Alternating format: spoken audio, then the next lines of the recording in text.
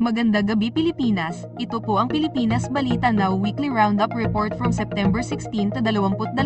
Pambansang Balita, DOJ vs. Alice Guo, magpa-file ng kasong human trafficking ang DOJ laban kay Alice Guo matapos ang investigasyon sa illegal recruitment, PNP sa mga kakampi ni Quiboloy, naghahanda ang PNP ng mga kaso laban sa mga taong umano'y tumutulong kay Apollo Quiboloy, suporta ng PCG at BFAR sa West Philippine Sea, kaysa ang Philippine Coast Guard at BFAR sa mga mangingisda sa pagtatanggol sa karagatan ng Pilipinas sa gitna ng mga isyo sa teritoryo, late birth registration, mas mahigpit na proseso ng late birth registration ang ipinapatupad na ngayon, sunog sa Maynila, isang malaking sunog sa Maynila ang nag-displace ng 1,800 na pamilya, tinutulungan ng lokal na pamahalaan ang mga biktima, rollback sa presyo ng langis, bababa ang presyo ng langis sa ikalabimpito ng Setyembre matapos ang sunod-sunod na pagtaas, San Miguel Corp Remittance, nagramit ang San Miguel Corporation ng 30 na bilyong piso sa gobyerno bilang bahagi ng NAIA takeover deal, pandaigdigang balita, paghahanda ng China para sa bagyo,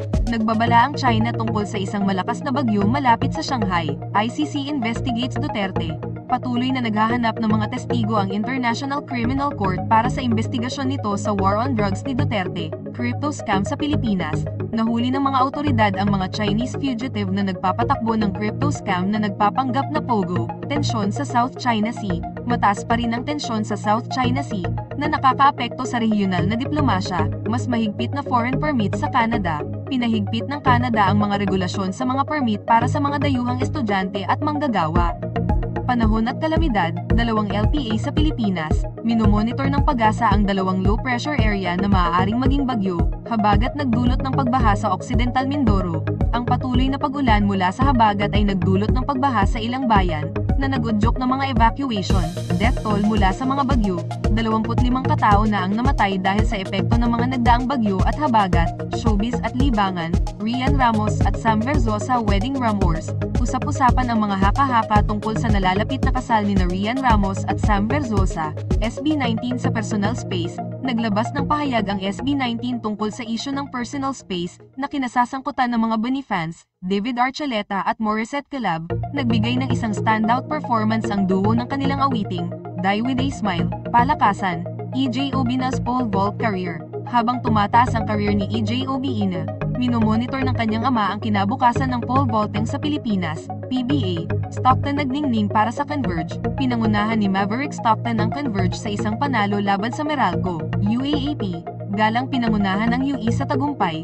tinulungan ni Galang ang UE na makuha ang kanilang unang panalo ngayong season. Gilas Coach Tim Cone pararangalan, si Gilas Pilipinas Coach Tim Cone ay gagawaran ng President's Award sa PBA Press Corps 30th Awards Night. Iba pa, YouTube usage sa Pilipinas, siyam na out of 10 na Filipino internet users ay nanonood ng content sa YouTube. ASF Emergency Call, nanawagan ang mga lider ng industriya ng baboy para sa isang national emergency dahil sa pagkalat ng African swine fever, sinkhole sa Busan. Isang 8 meter deep na sinkhole ang lumitaw sa Busan, South Korea, nadulot ng malakas na pagulan.